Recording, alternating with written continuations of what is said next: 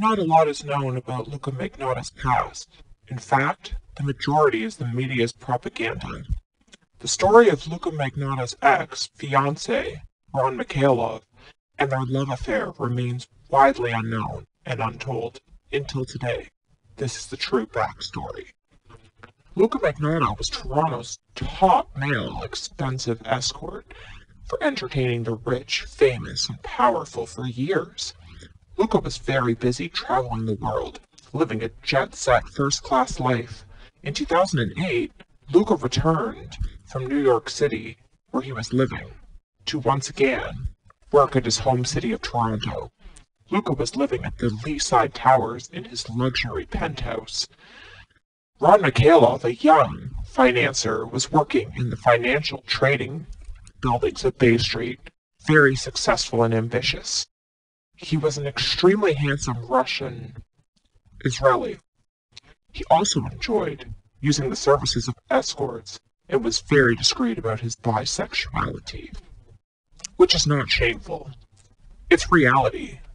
Bisexuality was more taboo back then but now it's 2020 and shouldn't be taboo any longer. Ron also worked alongside Andrea Lashivo Yorkin, Luka's aunt, who was mysteriously killed a few years later. One night, Luka received a call to meet a client at the luxury Toronto Sheraton Hotel. Luka almost didn't take the call since he was super busy. But that night, he was delighted to see a handsome young professional. Ron and Luka had a romantic candlelit evening full of champagne and passion. It was clear the evening was more than a one night stand. It was the beginning of a whirlwind love affair. After Ron and Luka departed their hotel, they were on the phone talking all night. The two young men were inseparable. In the purest form of love and white hot passion was happening. It was a modern day version of Romeo and Juliet.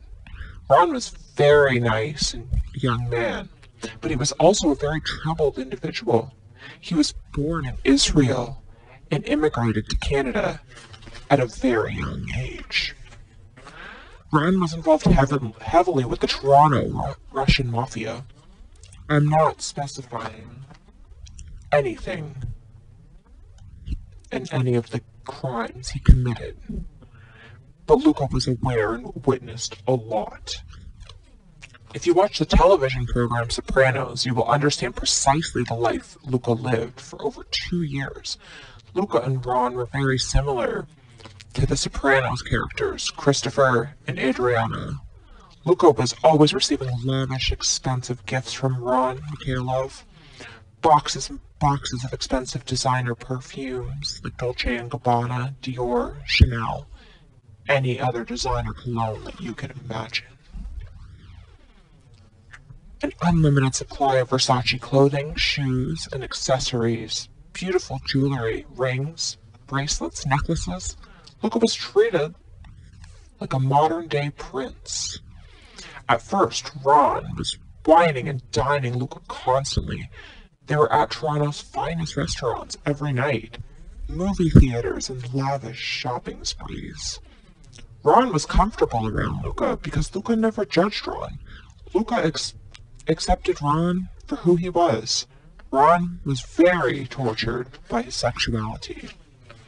Ron and Luka would go to the gay clubs three to four times per week and dance the night away. Ron never revealed his secret gay side to his friends or family, he felt too tortured and feared they wouldn't look at him the same again. They wouldn't truly like him for who he really was, so he was forced to live a lie. In the Russian community, homosexuality is seen as demasculating and forbidden. People still continue to put all homosexuals in the same category.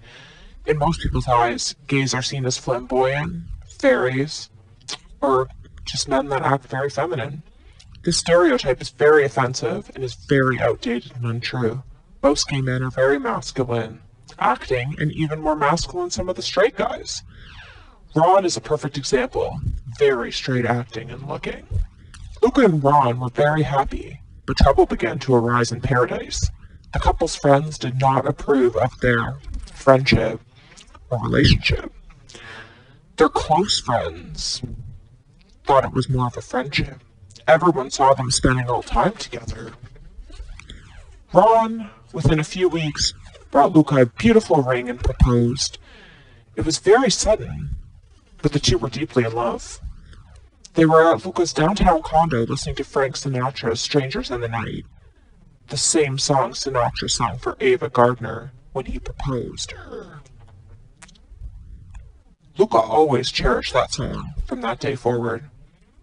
After becoming engaged, certain responsibilities and expectations must be met, especially commitment. Luka wanted, rightfully so, to be a part of Ron and Ron, his fiance's life to meet his family and friends, and to have a romantic life. Ron was very adamant that he was closeted and Luka was to remain his little secret. Luka agreed, but only for a short period of time. Ron needed a cover. He needed a woman to present to his family, since they were becoming very suspicious. They recruited Luka's sister, Melissa, and made her come along with them to parties, birthdays, family events, nightclubs, anytime Ron needed a woman date. Ron's friends loved Melissa. However, Luka was along everywhere, too, and becoming furious with the charade. Ron could not continue doing this to Luka. It was unacceptable. On top of the charade, Ron was a sexaholic. He needed sex daily with as many different partners as possible. Luka found Ron an endless supply of lovers. Men. Luka treated Ron like a god, a king. Luka would pick up Luka would pick up and run from work daily, and return to the condo and invite men over for threesomes and porn tapings. Luka and Ron loved to drive around Toronto picking up young, cute guys for Ron's pleasure. Accusations occurred that Luka would drug all these guys so that they could violate the unconscious men, but that was untrue. It was all consensual. Ron enjoyed very rough sex, and Luka was obligated to give Ron whatever he wanted sex and other men. Ron and Luka did over over half a half year did a few thousand different men and a few women together too. Luka was completely okay with all this, except Luka had one condition. Luka needed Ron to disclose and be honest about any men Ron would be with. Ron promised to never go behind Luka's back.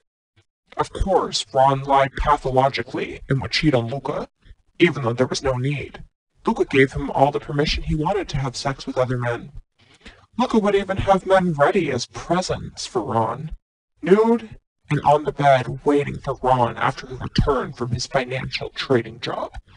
Ron really wanted Luka's brother, but Luka was becoming very jealous that Ron was paying more attention to Luka's brother than he was to Luka. Ron was constantly in both bathhouses, sex parties, and clubs. Luka was wishing for a more normal life. Ron was kept a on a tight leash by his family and not permitted to spend the night away from his domineering mother. Ron and his mother even shared the same bed. Luka had enough and gave Ron an ultimatum. Either include Luka in Ron's life and come out of the closet, or Luka would leave. Forever. It's either all or nothing. Luka went to Russia for a week, and when he returned, Ron reluctantly came out of the closet to his menacing sister, Rena, who was always bossing Ron around and controlling his life. Rena became infuriated and she threatened Luka and warned him to stay away from Ron forever. Luka laughed. Ron was a grown man and they were engaged. Fuck her. The Russian mafia began following Luka, vandalizing Luka's SUV, and threatening notes appeared. The useless, worthless police did nothing. The relationship turned toxic and dark clouds began to arise. Luka and Ron had movie marathons, and even bought a cute dog named Max. But Ron could never be satisfied. His sexuality always stood in the way. Luka rented an apartment in northern Toronto, a place to bring clients, but also a secret meeting place for him and Ron to be closer. Ron's friends began to be more and more suspicious. Luka was getting more and more involved with the Toronto Russian mafia and the underworld of the city. It was getting very dangerous. Luka's manager, John McKellar, became involved, and so did Luka's ex, Nader. Luka's friends outed Ron without Luka's knowledge. Ron's friends began to become aware of Ron's homosexuality and things became very dangerous. Ron went to the police because people were harassing him. Luka was suddenly being blamed for all of Ron's problems. The Toronto Russian mafia framed Luka and set Ron and Luka up to fail.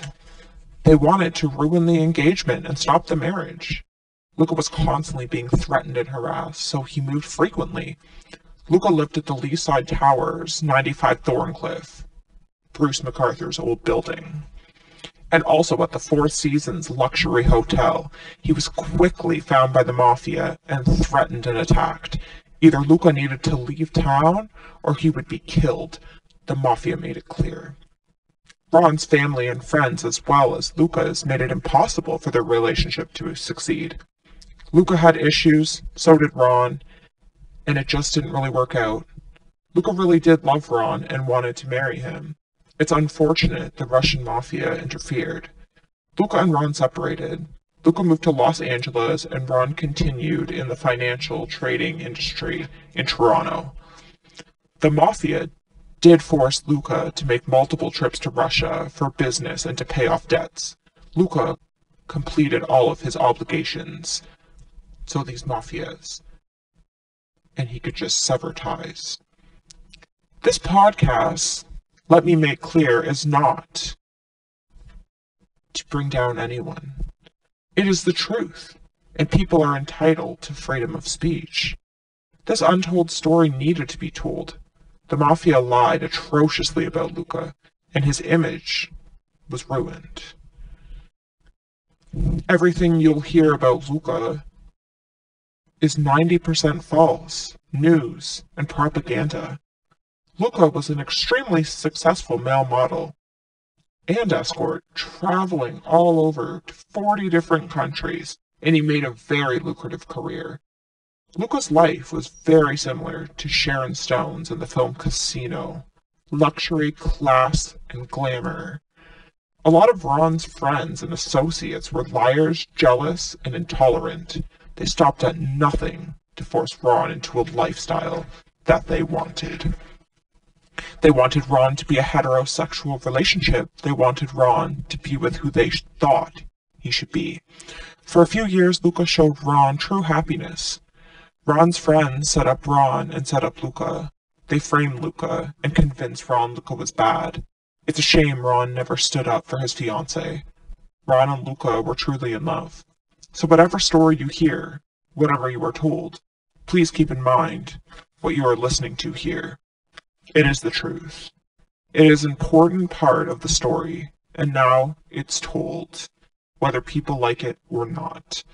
Luka was also framed for murder, necrophilia, cannibalism, and serial cat killings in 2012. The Canadian government, high ranking officials, were Luka's clients. So keep that in mind. Luka was involved in things against his will.